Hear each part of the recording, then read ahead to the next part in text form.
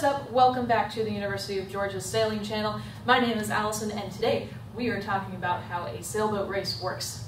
Let's get going. Just like race cars need tracks, cross-country runners need paths, swimmers need lanes, Sailboats need race courses. We set the guidelines to our race course with buoys that are anchored to the ground. This is going to be an aerial shot of our race course. Here's our wind coming down from the top, and all of the buoys that make up the race course will be adjusted according to where the wind is coming from. Okay, let's draw some buoys.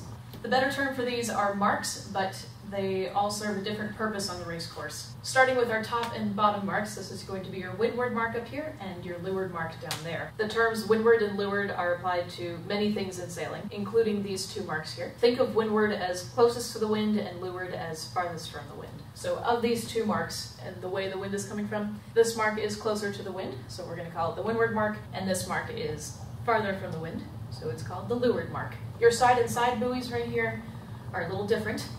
This one is going to be called a pin, and this one is actually a boat, usually a motorboat. Um, the size of the motorboat depends on the size of the sailboats competing. So this boat right here is called the Race Committee Boat, or the RC boat. On it sits a small group of people responsible for administering the races. They're the ones who call the starting sequence, who watch the starting line to make sure everyone is starting fairly, and who record finishes. Next, let's talk about that starting line. It is an imaginary line drawn between the pin and the race committee boat. You won't see someone spray paint this in the water anywhere. You just have to imagine it. And the race committee will do their best to set this perpendicular to the wind. Okay, so let's talk about how to get around this. how to start and how to finish. I'm going to put a picture up in the corner here of our points of sail diagram from the last video to reference if you need it. So before the start, all of the boats will line up along the starting line, but they'll stay to leeward of the starting line. So you'll see a bunch of boats doing this.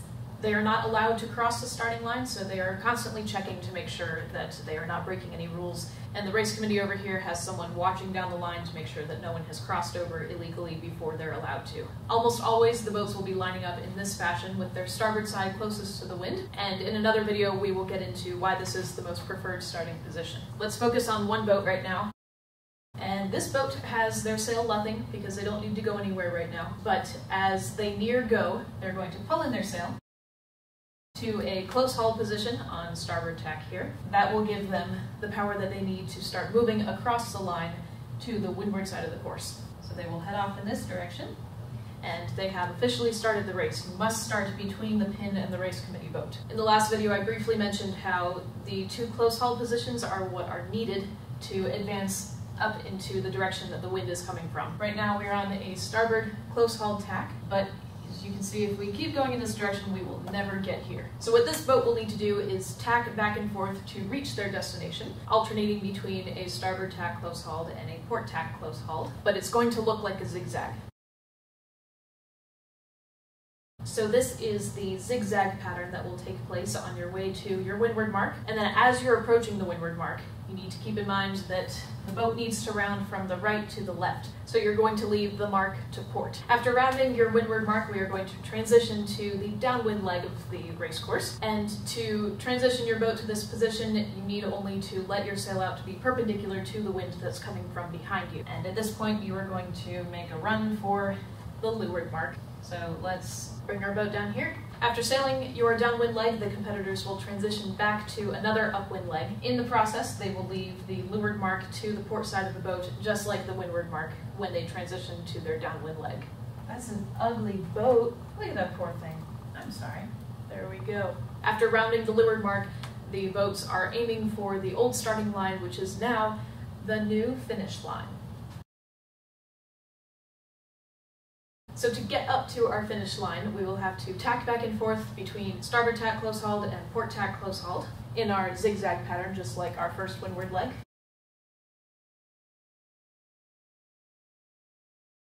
And in order for your finish to be legal, you must sail in between the pin and the race committee boat. On the race committee boat, there will be someone who is watching the line, just like at the start, to take down boat numbers and record finishes. If your race is only one lap, this is a successful completion of a race. What we just completed here is called a Modified Windward Leeward course, or abbreviated as MWL. It is the most common race course that you'll see in high school and college sailing. And the way I like to remember this is after starting, you have a windward leg and you have a leeward leg. And if it were just a windward leeward race, you would finish on this downwind leg right here, crossing through the pin and the race committee boat. But since it's a modified windward leeward, you add on a little extra and you complete a full lap. Thank you so much for watching How a Race Works. Please let me know in the comments down below if you have any questions I can answer for you, and I will see you next time. Bye.